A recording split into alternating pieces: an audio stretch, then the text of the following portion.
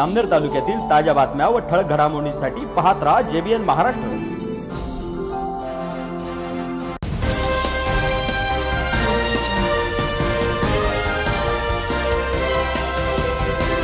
नमस्कार मी मिनल चौधरी. पाहूया काही ठळक वृत्त.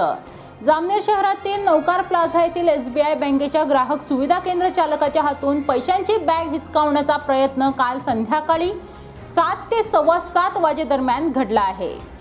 संध्याकाळी सात ते सव्वा सात वाजेदरम्यान ग्राहक सेवा केंद्र बंद करत असताना अज्ञात इसमाने येऊन केंद्र चालकाकडे पैशाची मागणी केली.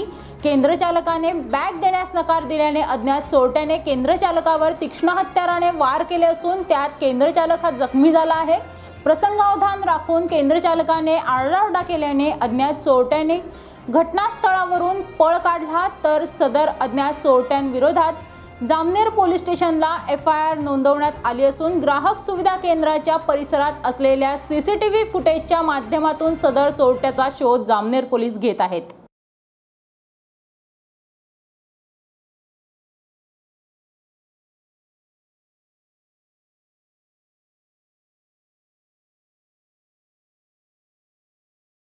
गाडी सोडली गाडी पडली मग मी खाली झटकाच्या प्रयत्न केला मग मी तर इकडे झटका दिला इकडे खाली जाऊन पडला. खाली जाऊन पडला मग ज्या कमी झाली मला सांगितलं ते खूप झाला त्याच्यापासून लगेच लोकांना आवाज दिला. का हो दादा म्हटलं वाजव म्हटलं लवकर या म्हटलं जोर आहे म्हटलं मला मारतोय म्हटलं. पैसे बॅग घ्यायचा प्रयत्न करतो.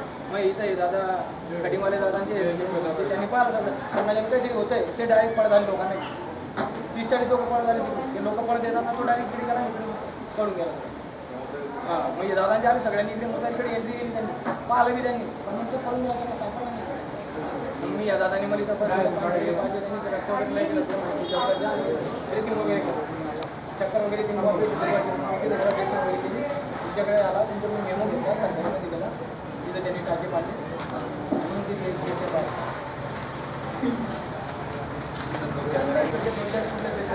नाही नाही तो मला वाटतं याचं शटर बंद करायची वाट पाहत असेल तिकडे सगळे. हो ना जवळपास सहा वाजेपासून. हां की बघ कॅमेऱ्यामुळे भगवान.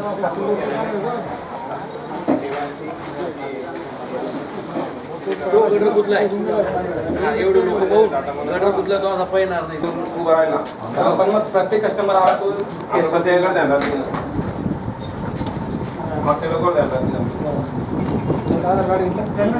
जाल परमेश्वर पाटील मी सी एस पी ग्राहक सेवा केंद्र चालवतो स्टेट बँकेचा मी रात्री सात वाजता सी एस पी ऑफिस बंद करून घरी निघत असताना शटर टाकल्यानंतर माझ्यावर एका अज्ञातिस्माने वार केला. त्याने येऊन माझ्याकडे आधी बॅगेची मागणी केली कॅश वगैरे किती बॅग मा मला बॅग बॅग मला दे बुवा तुझी. मी बॅग दिली नाही त्याला. तर बॅग दिली नसल्यामुळे त्याने माझ्यावर पाच सहा वार केले. जवळपास मला पाच ते सहा टाके पडलेले त्याच्यासाठी.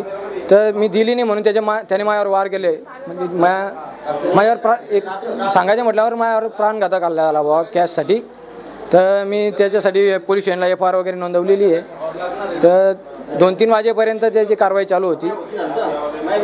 तीन एक तीन एक लाख रुपये कॅश माझ्याकडे होती. त्याच्या हातात फायटर असावं असं मला वाटतं. मी पा दिस वस्तू तर काही दिसली नाही त्याच्या हातात काय होती ती. पण माझ्यामध्ये त्याच्या हातात फायटर असावं.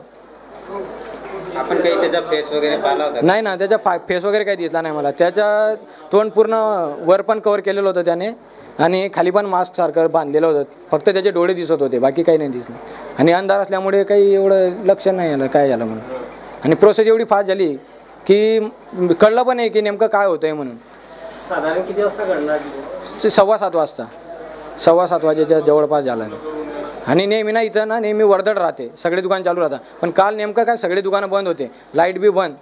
आणि यामधला रस्ता बंद मथेनगरचा हा रस्ता बंद असल्यामुळे ते कोणी वापर बी नव्हती रहदारी नव्हती. त्याच्यामुळे जास्त त्याला फायदा म्हणजे फायदा झाला त्या या बातमीत इथेच थांबूया. ताज्या अपडेटसाठी W W W J B N Maharashtra dot com या आमच्या वेबसाईटला लॉग इन करा. तसेच यूट्यूबवरील आमचे व्हिडिओ पाहायला विसरू नका आणि Google play स्टोअरवरील J B N news app download करून J B N Maharashtra news channel live पहा. नमस्कार.